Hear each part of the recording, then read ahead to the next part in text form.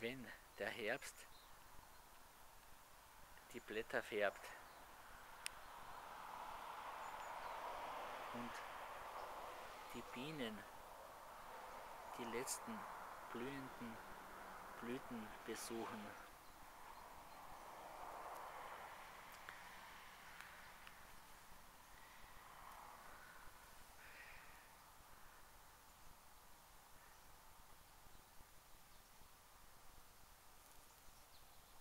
Am 17. Oktober 2013